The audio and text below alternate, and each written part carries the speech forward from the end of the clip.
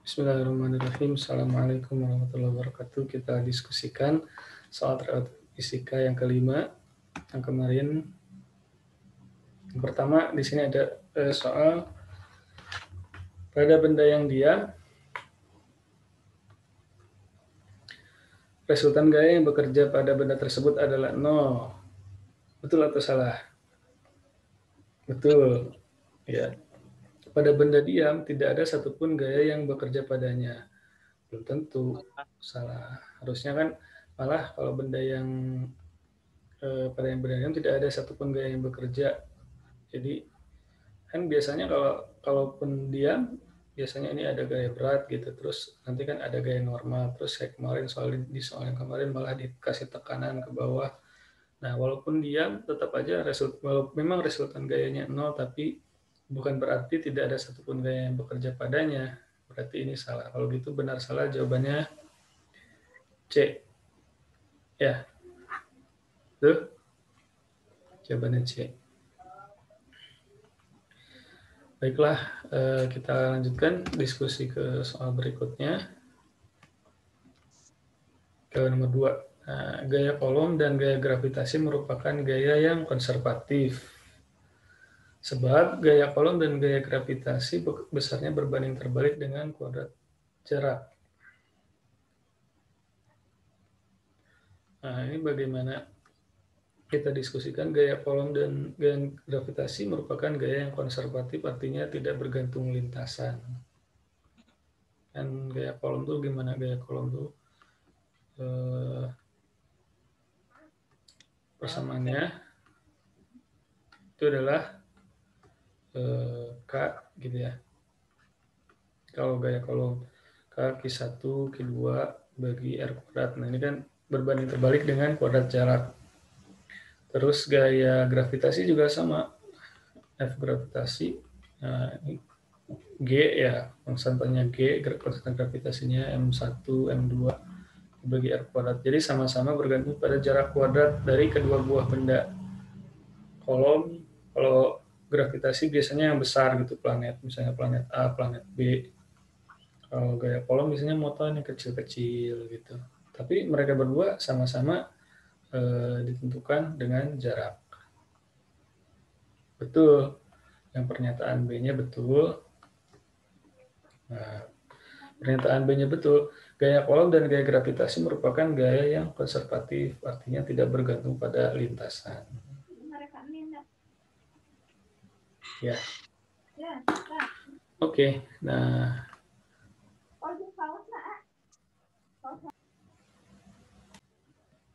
Baiklah, kita lanjutkan. Jadi yang dimaksud dengan eh, gaya gravitasi ini adalah dan gaya kolom adalah gaya yang konservatif, artinya gaya yang eh, tidak memperhatikan lintasan.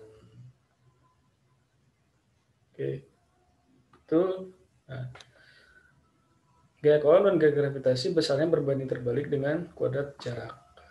Betul sekali, berbanding terbalik dengan kuadrat jarak. Nah, tapi kuadrat jarak ini tidak membahas secara spesifik tentang lintasan. Ya enggak? Yang dibahas cuma harusnya gini kalau mau ada nah, tapi ini sebab pernyataannya itu eh, dan sebabnya itu tidak ada kait ada hubungan sebab akibat. Kalau mau ada hubungan sebab akibat, jawabannya harusnya sebab gaya kolom dan gaya gravitasi sama-sama tidak bergantung pada lintasan. Harusnya gitu. Ya, kalau gitu ini benar dan benar dan tidak ada hubungan sebut akibat kalau itu jawabannya yang B. Ya.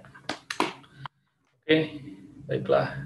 Kita lanjutkan diskusi ke soal berikutnya.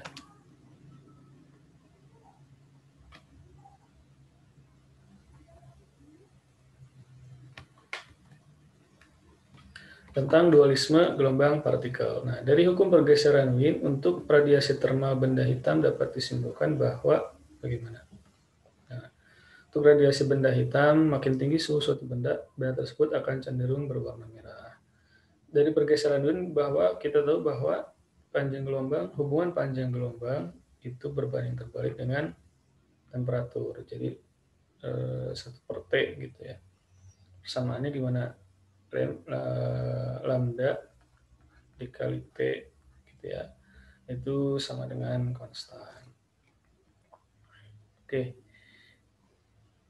Nah, eh, kalau gitu, ya sekali lagi, jadi maksudnya ini maksudnya lambdanya adalah panjang gelombang maksimum. Sorry. Nah, ini panjang gelombang maksimum dari eh, radiasi termalnya itu. Ini juga lambda maksimum. Nah, kualitas dengan C atau panjang gelombang maksimum sebanding dengan berbanding terbalik dengan suhu. Dari pernyataan yang ini udah bisa kelihatan harusnya ya. Nah, dari hubungan ini tuh kita harus harus tahu harus bisa menjawab bahwa semakin tinggi temperaturnya harusnya panjang gelombang maksimumnya itu akan semakin kecil gitu. Nah, sementara kita punya urutan nih, Meiji, Kui, Pinyu, merah, jingga, kuning, hijau, terus biru, nila, dan ungu. Nah, ya kan? Nah, panjang gelombangnya Mbak, paling akan berwarna merah. Ini kan panjang gelombang paling kecil. Sementara panjang gelombang paling kecil itu apa? Panjang gelombang paling kecil itu adalah warna ini. Makin ke sini makin kecil. Makin ke sana makin besar panjang gelombangnya. Ya. Nah, kalau gitu jawaban yang pertama gimana? Di sana disebutkan ya. Sekali lagi panjang gelombang semakin besar, suhu makin tinggi, dari hukum pergeseran ini kita memperoleh panjang gelombang semakin kecil. Nah, kalau gitu, panjang gelombang paling kecil itu bukan warna. Di sini dikatakan ketika suhu benda makin tinggi, maka akan cenderung berwarna merah. Sedangkan warna merah itu panjang gelombang tertinggi. Kalau gitu pernyataan satu ini belum tepat. Malah kebalikannya ya. Ini salah. Oke. Terus kalau gitu kalau satu salah, tiga pasti salah. Ya. Intensitas radiasi benda tidak bergantung pada temperatur. Ini jelas-jelas salah. Ya. Kenapa salah? Karena kita punya hubungan yang nomor tiga salah. Ya, ini yang nomor pertama tadi jawabannya. Pasti nomor, kalau nomor satu salah, ya maka tiga juga pasti salah.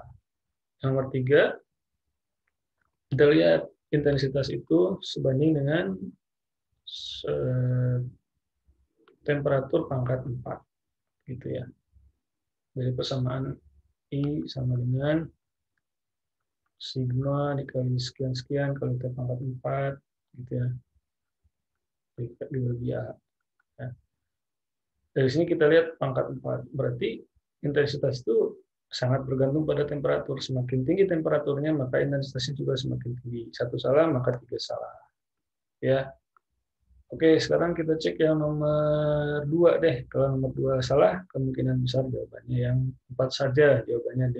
Kalau dua salah, bisa. Eh, kalau dua betul, pasti jawabannya dua dan empat, karena nggak ada empat saja. Eh, karena nggak ada dua betul saja, gitu. Maka yang pasti di sini kita cek dulu makin tunggu makin tinggi suhu suatu benda, atau kita cek nomor 4, enggak apa-apa, nomor 2 juga. Makin tinggi suhu suatu benda, frekuensi gelombang radiasi benda tersebut semakin tinggi. Ya, gimana caranya ini? Yang nomor 2. Makin tinggi suhu suatu suatu benda, suhunya berarti ini. Kalau gitu, kita pakai ini aja. Kan lambda V itu sama dengan lambda kali F. Gitu ya. Atau bisa juga kita lihat lambda itu ternyata sebanding dengan satu per F. Atau F itu sebanding dengan satu per lambda. Hmm. F sebanding dengan satu per lambda. Oke. Okay.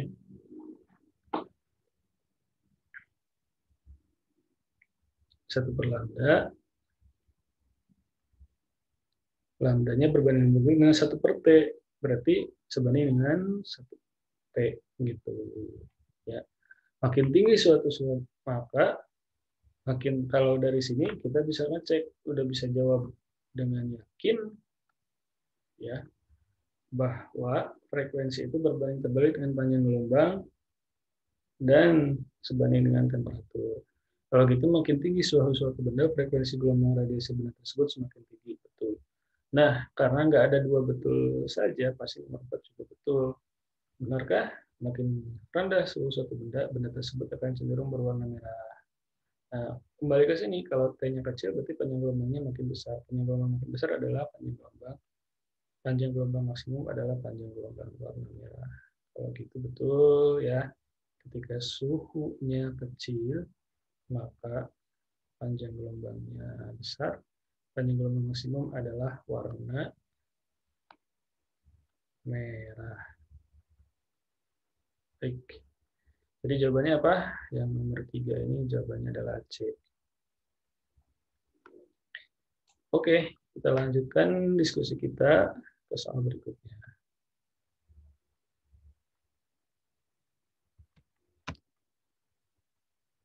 Nah, sekarang gini. Jika sebuah bola pejal konduktor berjari-jari R diberi muatan listrik I, berangkat berikut ini pernyataan benar adalah apa? Yang pertama, muatan terdistribusi secara merata di permukaan bola. Yang kedua, medan listrik di dalam bola sama dengan nol. Yang ketiga, jika sebuah bola pejal konduktor berjari-jari R diberi muatan listrik positif Q. Nah, gitu. Ya. Maka yang pertama katanya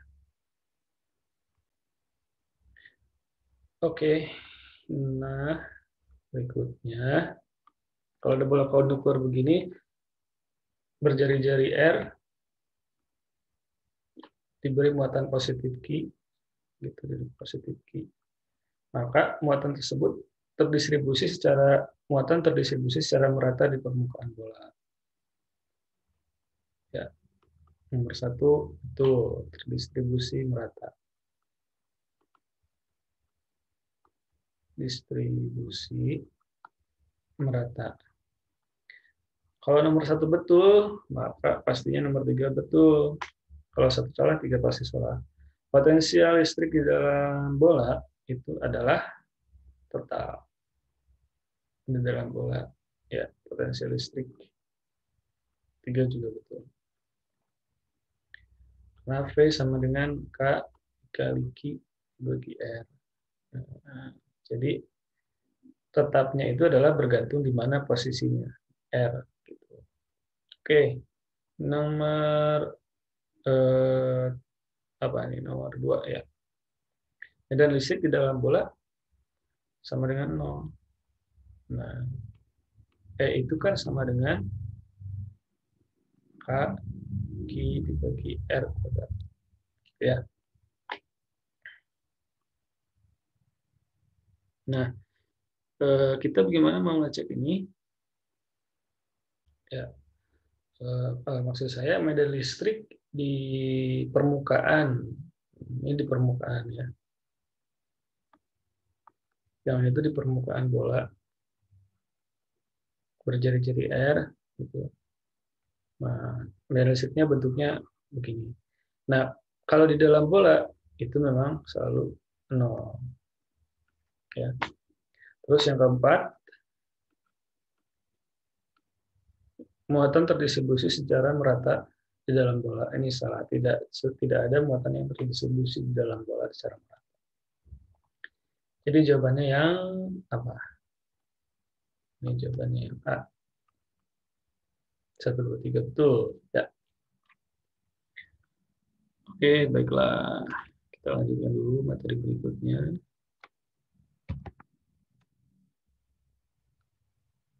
tentang usaha dan energi. Suatu gaya merupakan gaya konservatif jika gaya yang dilakukan, kerja yang dilakukan terhadap suatu benda, bagaimana? Satu, dua, tiga, empat. Baiklah adik-adik, kalau soal yang ini, itu soalnya definisi, masih soal tentang definisi gaya konservatif. Yang dimaksud gaya konservatif juga kaitannya dengan usaha dan energi adalah jika kerja yang dilakukan terhadap benda itu tidak bergantung pada lintasan. Berarti tidak bergantung pada lintasan gerak. Nomor tiga betul. Nah, nomor tiga betul pasti satu betul. Hanya bergantung pada keadaan awal dan keadaan akhir. Ya, pada keadaan awal dan keadaan akhir artinya hanya bergantung pada tidak bergantung pada lintasan. Misalnya usaha adalah perubahan energi potensial perubahan energi potensial. Usaha misalnya untuk melemparkan benda ini ke atas dari sini dari posisi A ke posisi B akan dilempar Nah ini kan ada usahanya. Usaha ini usahanya adalah perubahan energi potensial sama dengan energi potensial di B dikurangi energi potensial di A misalnya gitu ya. Nah kalau gitu eh, sama dengan perubahan energi potensial benar karena usaha sama dengan perubahan energi potensialnya definisi matematisnya. Tuh. Terus yang keempat, tidak bergantung pada perubahan energi potensial. Salah, karena usaha itu sama dengan perubahan energi potensial. Secara definisi. Oke, jawabannya yang A. Baiklah, kita lanjutkan. Sekarang soal berikutnya. Nah, sekarang di sini tentang teori kinetik gas. Oke, eh, sekarang pertanyaannya apa? Suhu gas nitrogen pada saat kelajuan RMS-nya atau root mean square-nya sama dengan V1 adalah 300 Kelvin. Jika kelajuan RMS gas nitrogen diperbesar menjadi dua kali V1, maka suhu gas nitrogen tersebut berubah menjadi gimana caranya? Kita punya hubungan kecepatan itu sama dengan akar dari 3KT dibagi M. Gitu kan? Nah, persamaannya. Persamaan ini kan kita lihat sebanding dengan akar dari T. Kalau yang lainnya kita anggap sebuah konstanta. Gitu. Yang lainnya kan konstan nilainya. Jadi udah aja P ini sebanding dengan akar T. Kalau udah gitu gimana? maka hubungan eh, kalau kecepatan ini katakanlah V sebanding dengan akar T. Kalau kita mengubah kecepatannya dua kali semula, maka temperaturnya berapa kali semula? Tinggal kita buat aja hubungan gini, P2 dibagi P1. Nah, ini sama aja dengan akar dari T2 dibagi akar dari T1. Gitu. Atau sama aja dengan akar dari T2 dibagi T1. Nah, sekarang gimana? kan katanya si kecepatannya jadi dua kali itu sama dengan 2 V1 dibagi V1 coret-coret nah, T2 nya berapa yang dicari T1 nya 300 berarti akar dari T2 dibagi 300 sama dengan 2 kalau kita kuadratin ini berapa dapat eh, T2 sama dengan 2 kuadrat kali 300 4 kali 300 berapa 1200 Kelvin. Jadi jawabannya yang D. Oke. Masih bisa kita lanjutkan. Ini tentang teori kinetik gas.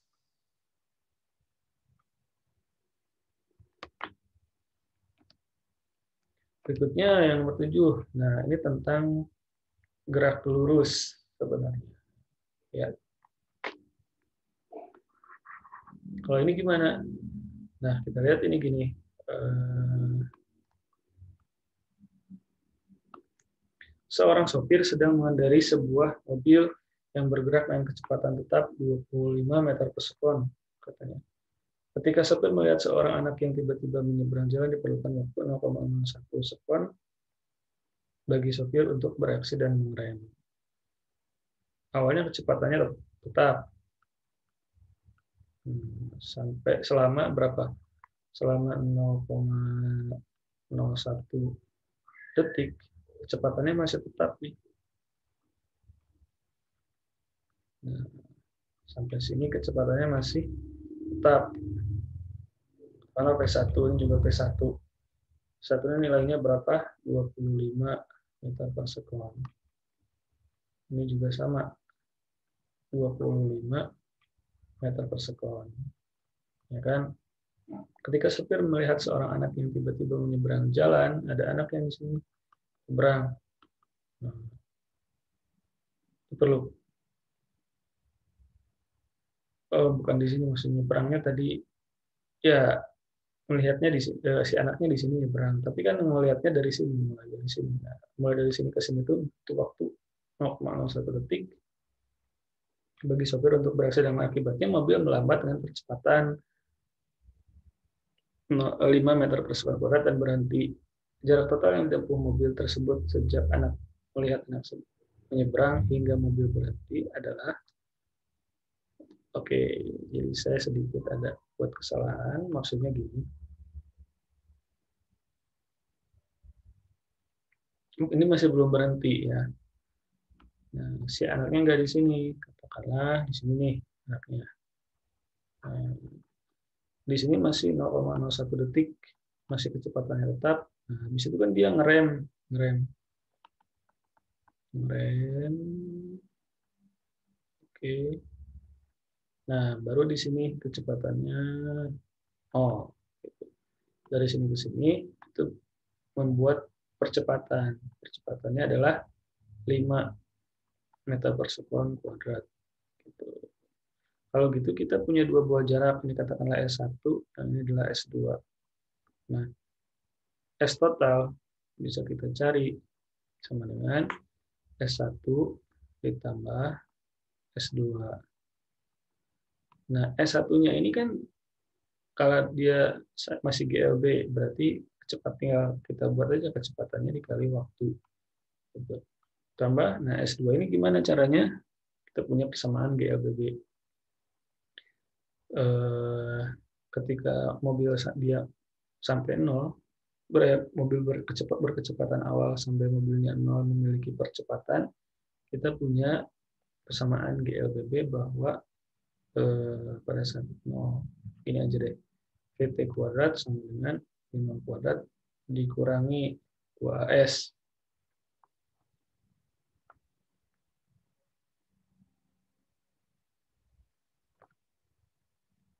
dikurangi dua dikurangi mana? dikurangi dua dikali a dikali s itu. Nah ini kan ketika kecepatan akhirnya nol ya. Oke, kecepatan akhirnya nol berarti kan ketika bendanya sudah diam ini kan jadi nol. Ini sama dengan nol nol sama dengan eh, ini V-nya saya, yang saya maksud adalah V1 sama ya di sini juga ya ini V1 berarti kan ini V1 kuadrat dikurangi 2 dikali A dikali S. Ya. Kalau gitu S yang kedua ini S2 di S2 nah S2 ini adalah V1 kuadrat dibagi 2A masukin aja. Berarti ini V1 kuadrat habis itu dibagi dua kali percepatannya. Masukin aja P-nya berapa, yang satu ini P1 maksudnya. P1-nya adalah 25, 25 eh, meter per sekon, habis itu dikali T-nya berapa? 10 pangkat min 2. 10 pangkat min 2 atau ya 0,25 jadinya nanti. Ditambah, nah ini P1 kuadrat, P1-nya berarti kan 25 kuadrat dibagi 2 kali 5. 2 dikali 5. 2 kali 5 berapa? 10 ya. 10. Kalau gitu ini jawabannya berapa? Itu berarti 0, Oh, bukan 0,01. Salah, maaf ya. Ini itu 0,1.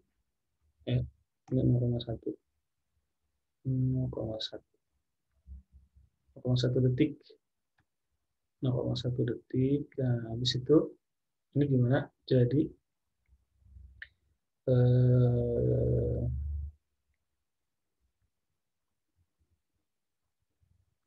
sepuluh pangkat min satu gitu ya. Oke ini jadi 2,5 ini yang masuk siapa?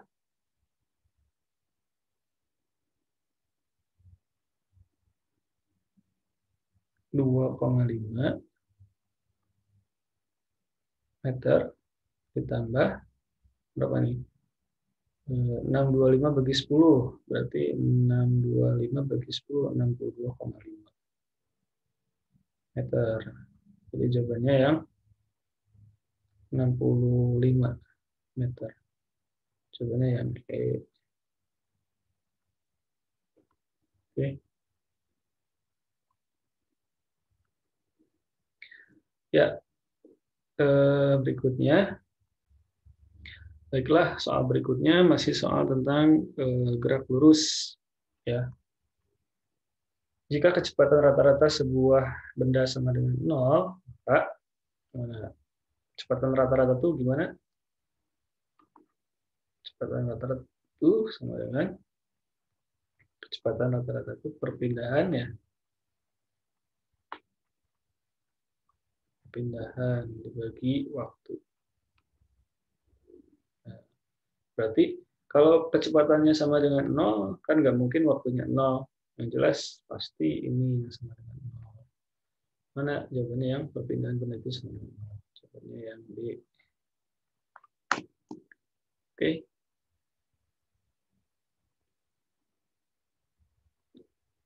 Ya. Uh,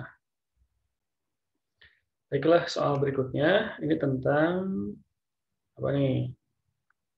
Mesin Carnot menyerap panas dan tendon panas bertemperatur 127 derajat dan membuang sebagian panasnya ke tendon dingin bertemperatur 27 derajat Celcius. Efisiensi terbesar yang dapat dicapai oleh mesin Carnot adalah gimana ini?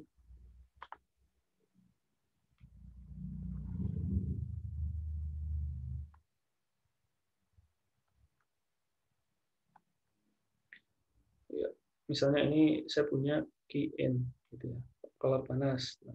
Itu semuanya ada yang terbuang, color out, terus ada juga yang berubah menjadi usaha. Kalau gitu usaha, eh efisiensi sama dengan usaha dibagi kalor yang masuk. Ini sama dengan apa? Usaha itu sama dengan Q yang masuk dikurangi Q yang keluar dibagi ini kali 100% ya. Oke. Ini juga dibagi key in dikali 100 persen.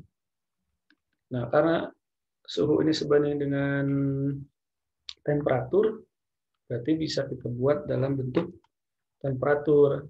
Ya enggak? Berarti ini sama aja dengan apa? Sama dengan T in dikurangi. Nah, ini kan T in dibagi T in jadi satu aja ya. Biar cepat itu satu dikurangi. T kecil dibagi T besar. Semuanya kali 100% nah ini sama aja dengan satu dikurangi. T outnya berapa T outnya adalah 27 derajat Celcius. 27 ditambah 273 Nah, ini semuanya bagi 127 tambah 273. Ya, oke. Okay. Ini semuanya bisa kita bagi dengan, ya dikali dengan 100%. 27 tambah 273 berapa? 300, eh, yang bawah 400. Jadi 1 dikurangi 3 per 4.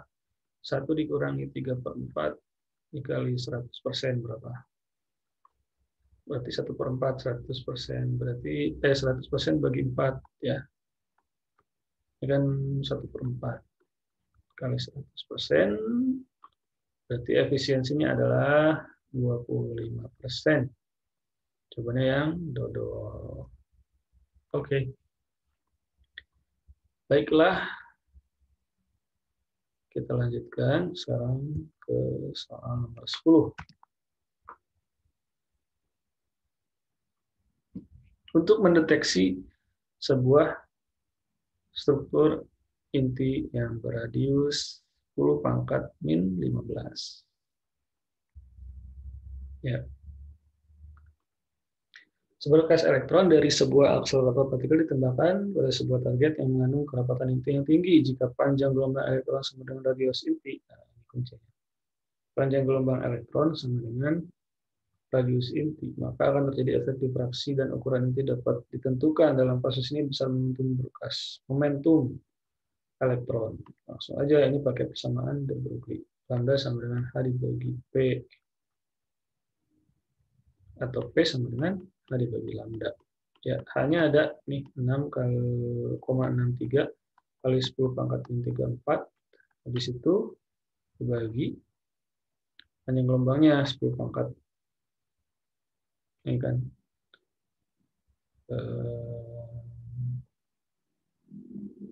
mana tadi? Panjang gelombang sama dengan radius inti. Karena kan kita memiliki radius inti. Radius inti. Panjang gelombang ini katanya sama dengan r. Lambda sama dengan r. Kalau gitu udah masukin aja nih. R-nya adalah 10 pangkat min 15 jadi jawabannya 6,63 kali 10 pangkat. Berapa tuh min 34 min 15 min 30 min 15 itu min 15 min 4 berarti min 19 jawabannya ya A. oke. Baiklah ini nomor 11 kita lanjutkan ke nomor 12 sekarang. Eh, nomor 11 sorry. Nah dawai gitar di sini panjangnya 1 meter dan masa 10 kg Oke, nah bunyi nada atas ke satu pada frekuensi 400 Hz. Berapakah besar tegangan pada dawai gitar tersebut? Ada dawai gitar. Nah, dawai gitar tuh gini. Kira-kira. Itu frekuensi nada dasarnya, kan ini berapa? Eh, L-nya ini sama dengan berapa lambda? Setengah lambda. Kalau gitu, lambda 0 maksudnya ya. L 0. Kalau gitu, lambda 0 ini sama dengan 2 kali R. Kalau gitu, nanti si frekuensi ini adalah V dibagi lambda 0. nah, ini sama dengan V dibagi 2L. Gitu ya. F0. Nah, kalau kita lanjutin, nanti si F1 ini bentuknya kira-kira karena nanti si L ini akan punya hubungan L1. L1-nya itu akan sama dengan 3 per 2 lambda. Gitu kira-kira. Nah, kalau dilanjutin terus saja. 3 per 2 itu berarti satu setengah. Satu setengah. Nah, sorry. Eh, ini kurang sedikit seimbang. Ya kira-kira mau dibuat lagi deh. apa-apa. Nah,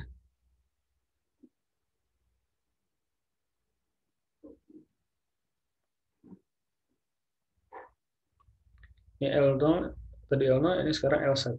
Nah, L1 itu berapa? Lambda 3 per 2 lambda 1. Kalau gitu F1 itu sama dengan eh, V dibagi lambda 1.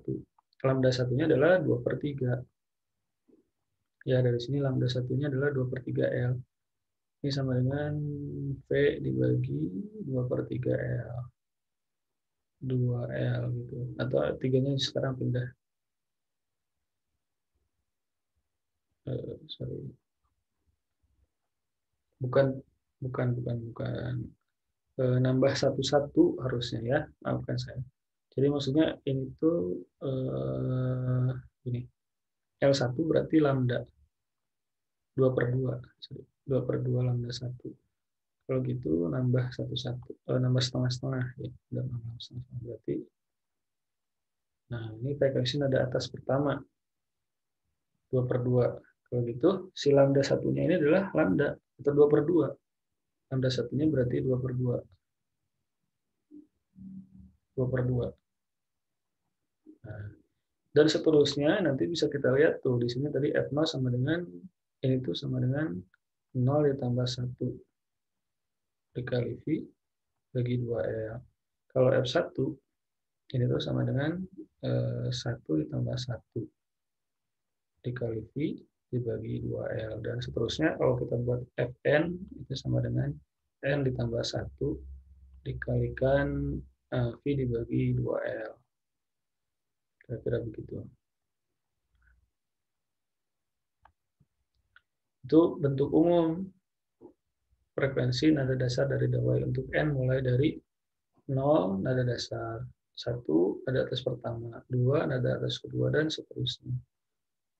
Oke, nah sekarang pertanyaannya berapakah tegangan tegangan besar tegangan pada dawai pada nada atas pertama.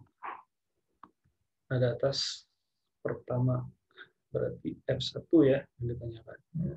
F1 sama dengan rumusnya tadi 1 tambah 1 berarti 2 bagi 2 V per 2 L atau V per L. V per L. Sama dengan L-nya berapa? Ini kan L nih. L-nya 1. Oke, berarti ini sama aja dengan V. V itu kan akar dari F L dibagi akar F dibagi mu. Mu-nya adalah M per L atau jadi FL per M. Oke, ini F1 ini berapa diketahui? Berarti ini 400 sama dengan akar dari gayanya yang dicari. Nilai L-nya adalah 1 dikali 1. Masanya berapa? Masanya 10 gram. 10 gram itu adalah 10 dikali 10 pangkat berapa? Min 3. 10 pangkat min 3 itu 10 pangkat min 2. Kalau gitu kita tahu nih 400 pangkat 2 itu sama dengan ini akar dari F dibagi semuanya 10 pangkat min 2. Ya, udah deh dapat kalau gitu. Sekarang nilai F-nya sama dengan 4 kuadrat itu 16 kali 10 pangkat 4 dikali 10 pangkat min 2 jadi sama dengan 16.600 Newton. Jawabannya yang E. Ya. Jawabannya yang E.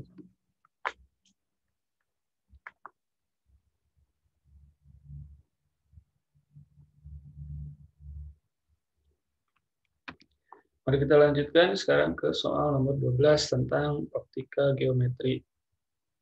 Deskripsi bayangan sebuah benda yang terletak 20 cm di depan sebuah cermin sferis cembung berjari-jari 60 cm adalah gimana? Nah, oke okay, teman-teman, kita lanjutkan diskusinya. Tadi kita sekarang di cermin cembung ya, cermin cembungnya cermin negatif. Berarti kalau cermin negatif, si titik fokusnya itu minus setengah kali R jari-jarinya adalah 60 berarti fokusnya minus 30 di sini kira-kira. Minus 30. Nah, terus katanya benda tersebut terletak 20 cm di depan cermin. Ada benda. Kalau ada benda kira-kira gini, nah nanti kalau kita menggunakan sinar, sinar yang datang, itu kan difokuskan ke titik fokus, diteruskan ke titik fokus. Itu yang pertama. Terus ada juga sinar yang datang menuju ke titik fokus, ke sebuah benda. Yang lewat ke bendanya. Ada sinar yang lewat ke benda menuju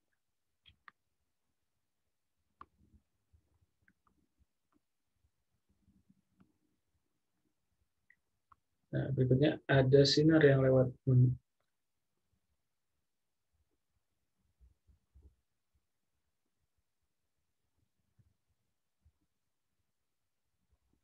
sinar yang melewati benda,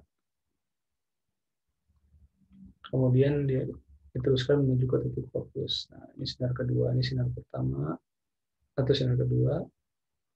Tadi ada sinar pertama ya, ini sinar pertama. Nah, Nanti kalau gitu si bendanya ada di mana? Ya. ya. Nanti bendanya ada di Ah, sebentar, sebentar. Sebenarnya kita sedikit membuat kesalahan dulu di sini.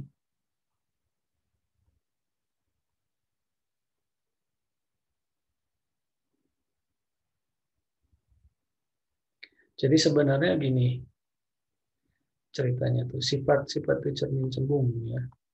Jadi kalau ada eh, sinar yang melewati sebuah benda nanti dipantulkan seolah-olah berasal dari titik fokus seperti ke atas pemantulannya dari sini. Nah, pemantulan itu dari atas dari sini.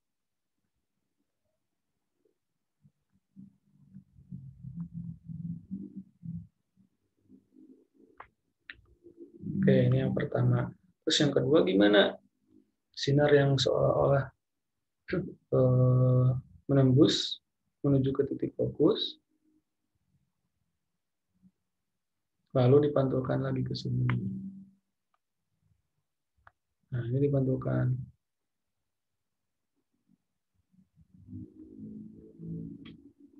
Kan karena kan tadi datangnya dari sini, seolah-olah menuju titik fokus nanti dipantulkan gitu.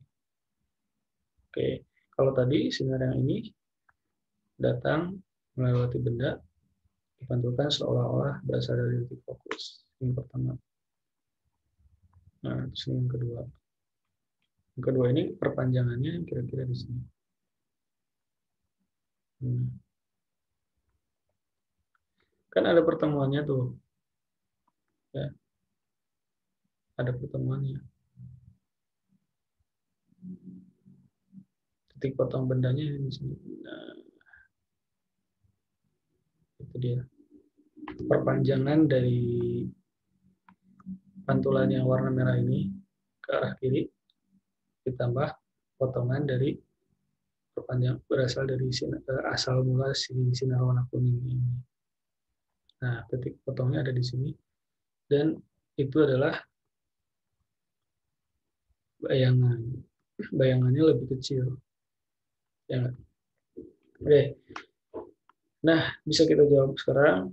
Eh, kalau gitu kita punya persamaan pembuat cermin. 1 per F sama dengan 1 per S tambah 1 per S aksen. Oke. Fokusnya berapa? Fokusnya adalah 30 min 1 per 30 sama dengan 1 per S. S-nya berapa tadi? 20 eh, ya. 1 per 20 ditambah 1 per S aksen. 1 per S aksen. Yang ditanyakan apa? S dulu deh. Nanti S sebagai S aksen bisa dapat. Oke. Perbesarannya maksudnya. Oke, kita bisa cari pakai persamaan apa nih? Hmm, mudah aja nih pindahin dua 1 per S aksen sama dengan minus dari 1 per 30 tambah 1 per 20. Itu sama dengan berapa? Minus 30 eh, ditambah 20 dibagi 30 kali 20 kali 20 gitu ya. Nah, ini adalah 1 per S aksen. Kalau gitu, S aksennya adalah perkalian minus ya. 30 kali 20 bagi 50 berapa nih? 3 kali 2. 6 ya. 6. 600. Dibagi berapa nih? 30 kali 20, 600. 30 tambah 20, 50. Ya, 60 bagi 5 berapa? 12. Minus 12 cm. Minus artinya si bendanya memang ada di dalam cermin di sini. Kan tadi negatif di sini negatif 30 fokusnya kan minus minus 30 di dalam di dalam cermin di sini. Oke, berarti minus 12 tegak diperkecil. Diperkecil atau diperbesar berapa kali gitu ya. Nah, diperkecilnya gimana caranya? Kita membuat eh, perbesaran cermin. Perbesaran cermin itu M. Sama dengan S aksen aja dibagi S length plug. Sama dengan eh, S aksennya berapa? 12 minus 12 dibagi berapa? S-nya 20. Ya. Berapa ini? Dibagi berapa? Dibagi 4. Dibagi 4 itu adalah 3 per 5. 3 per 5 kali lebih kecil. Gitu ya. Berarti maya, karena di dalam cermin, kemudian tegak, dan diperkecil atau diperbesar 3 per 5 kali. Diperbesar 3 per 5 kali itu maksudnya adalah diperkecil. Jadi jawabannya yang C. Oke. Okay.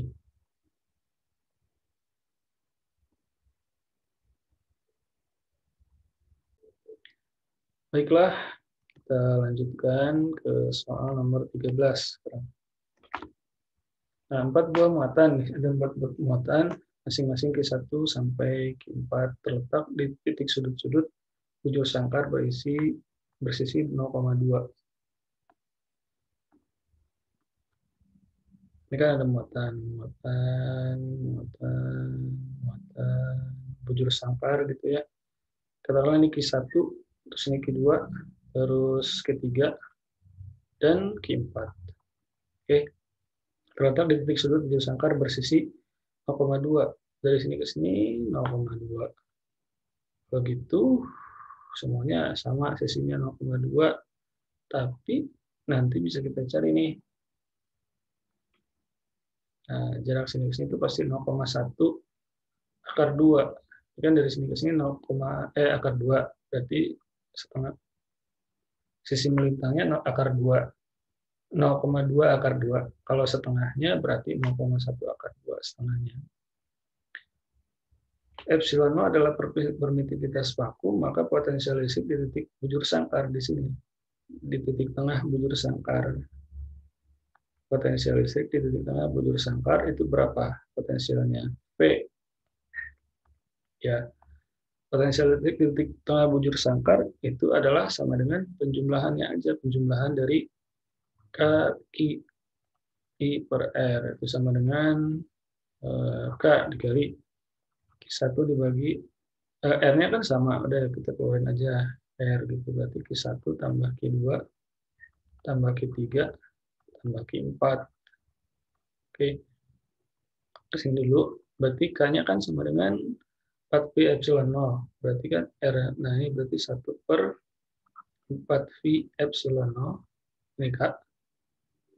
Nilai K. Kita tahu sama dengan 1 per 4 V epsilon 0 terus eh, R-nya berapa? 0,1 akar 2 0,1 akar 2 dikali Q1 penjumlahannya adalah 01 min 1 min 2 tambah min 1 tambah 1 berapa nih? Min 2 mikrokolom. Min 2 ditambah min 1 ditambah 1 ditambah 1 ya enggak min 2 min 2 min 1 min 1 1 oke. Ini mikro kolom mikro kolom. 10 pangkat min 6 mikro tuh. Oke berarti ini min min coret min 2 tambah 1 berarti min 1 berarti ini sama dengan min 1 min 1 per berapa nih? Dikali akar 2 per akar 2 deh. Kali akar 2 per akar 2 berarti akar 2 kali akar 2 akar 2 nya hilang berarti min 1 per 0,8 0,8 itu 4 per 5 4 per 5 0,8 tuh. V epsilon 0 gitu kan. Berarti per R. Nah satunya sekarang udah mikro volt karena kan mikro tadi mikronya masih ada terus voltnya memang satuan potensial listrik berarti mikro volt ini sama dengan nah limanya bisa pindah ke atas eh sorry ada akar dua tadi ini akar ada akar dua di atas ya jadi akar dua berarti minus 5 per 4 minus 5 akar 2 bagi 4 pi epsilon 0 microvolt. Jadi jawabannya yang mana? minus 5 akar 2 dibagi 4 pi epsilon 0 minus 5 akar 2 dibagi 4 pi epsilon 0 mikrovolt jawabannya yang B. Minus 5 akar 2 dibagi 4 pi epsilon 0 ya nomor 14 sekarang kita lanjutkan. Di sini apa ceritanya?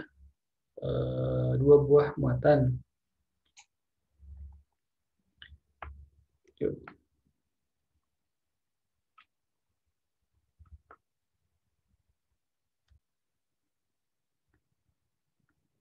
Baiklah, eh, kita lanjutkan tadi jadi dua buah muatan titik masing-masing. Ini ada muatan titik. Misalnya ini Q1 sama dengan eh, 10 ya mikrokolom terus Q2 itu adalah 4 mikrokolom terpisah sejauh berapa jaraknya adalah R katakanlah.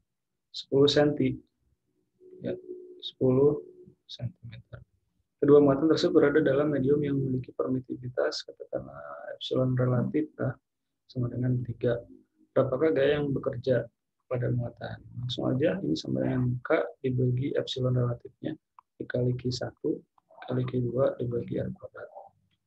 Nah, ini kan K-nya 9 kali 10 pangkat 9 dibagi 3 dikali Q1-nya adalah 10 kali 10 pangkat 6 dikali Q2-nya adalah 4 dikali 10 pangkat 6 habis itu dibagi semuanya berapa? 10 kali 10 pangkat 2 ini coret-coret. Berapa nih? 9 bagi 3 3 3 kali 4 yang ada angka 12 ada 12 9 bagi 3 3 3 kali 4 yang ada angka 12 cuma ada satu jawabannya yang B oke? okay. Jadi jawabannya 12 Newton. Oke. Ya, soal nomor terakhir bisa kita kerjakan cepat aja nih.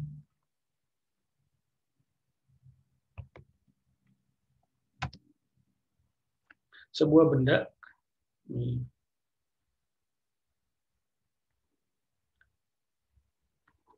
Ya, berikutnya sebuah benda tergantung pada neraca pegas dalam elevator.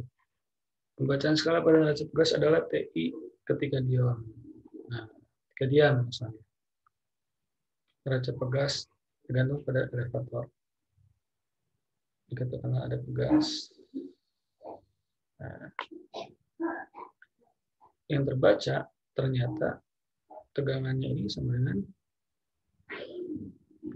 TI. Ini saat diam. Resultan gaya kan sama dengan 0 berarti sama T ini ya sama aja dengan berat sebuah benda digantung pada sebuah neraca pegas. Nah ini kan dia punya pegas, punya berat katakanlah uh, W gitu ya. Hmm, w gitu W masa benda dikali gravitasi. Nah, saat bergerak bergeraknya ke mana?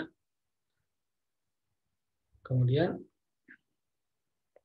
dipercepat ke bawah katanya. Oke, elevatornya dipercepat ke bawah dengan percepatan A. Otomatis apa yang terjadi? Kalau tadi kan ada tegangan tali ke atas, berat ke bawah. Nah, sekarang sesuai arah gerak benda, itu kan resultan gaya sama dengan masa kali percepatan. Karena ke bawah berat, terus ke atasnya arah T tegangan tali ke atas, berarti kan W dikurangi T sama dengan masa kali percepatan. Kalau kita buat percepatannya positif ke situ. Kalau gitu si T-nya itu yang baru nanti sama dengan W dikurangi MA. Nah, W-nya ini kan kita udah tahu sama dengan TI tadi. TI. Ya dikurangi. Nah, di mana masanya itu sama dengan TI dibagi G. Gitu. Waktu tegangan awal dibagi G kali percepatan. Nah, ini tegangan ketika bergerak. Tegangan ketika bergerak itu sama dengan tegangan ketika diam dikurangi tegangan diam dibagi G kali A. Ya, berarti tegangan ketika bergerak, tegangan ketika diamnya adalah ya ini TI karena kita tahu si eh, apa percepatannya adalah 5, gravitasinya 10, berarti ini sama dengan TI dikali 5 dibagi 10. Berapa nih? Setengah. 5 per 10 kan setengah. 1 kurang setengah, berarti sama dengan TI per 2. Ya. Berarti tegangan ketika bergeraknya itu setengah kali tegangan ketika diam. Ketika si apa elevatornya bergerak dengan percepatan 5 meter per sekon. Kuadrat dan gravitasinya di bumi, katakanlah 10 meter per sekon kuadrat. Jadi itu jawabannya yang mana? Jawabannya yang D.